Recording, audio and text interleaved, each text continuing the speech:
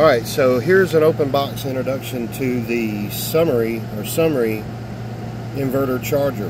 Now this is a solar in, inverter charger. It's rated at 3000 volts or 2400 watts.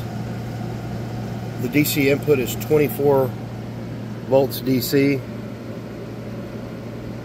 for 33.5 amps. The DC output is 27 volts DC as well because it features a charge feature that says that when shore power is operational, it charges it by default. So here's what you're looking at. You're an inverter charger PS3 kVA, silver and black. Inverter mode is 2400 watts, up to 3500 I think. DC inputs 120 volts AC. That can be coming from an inverter that's running off an engine it can be coming from a generator that's separate or shore power, or in other words, wall power. Um, the AC output is 120 volts AC. The very important thing to remember about buying these units is most of these companies that support these things and build them, they make them for European or overseas or German. So a lot of them say 220 volts AC. So make sure if you do purchase one, you pay attention to what your AC output voltage will be, and you don't mess up and get a 220. But now, unless you intended to get a 220, so that should let you know. Not only can you run 120 volt AC appliances from a 24 volt battery setup, but you can also run 220 volt appliances like stoves, uh, washing machine, uh, air conditioners, whatever welders.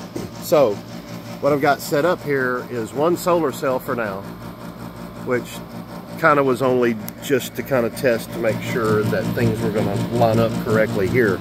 But what you've got is also the whole purpose of this for us is to have cool air on the boat and crushed ice and microwave and TV, which is a nice little thing when you're on a boat. Okay, wouldn't you agree? So I just kind of made this all set up right out here like it is. Now watch this. Our goal was to get off of shore power or generator power or prevent from having the engine running by uh, charging the inverter. So this is kind of simulating shore power, generator power, or inverter power coming from uh, the dock, the generator, or the inverter while the boat motor's running. So what I'll do is I'm going to unplug this you hear the beeping, which is the solar inverter letting you know that there was a change. But then look, the AC input is nothing. The solar input is nothing. There's no inputs coming into this box to help with generating the 120 volts of current that we need to keep the AC running.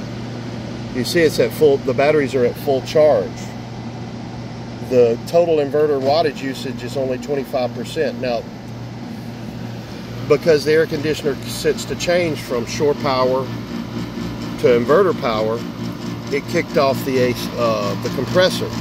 Well, the compressor is now back on.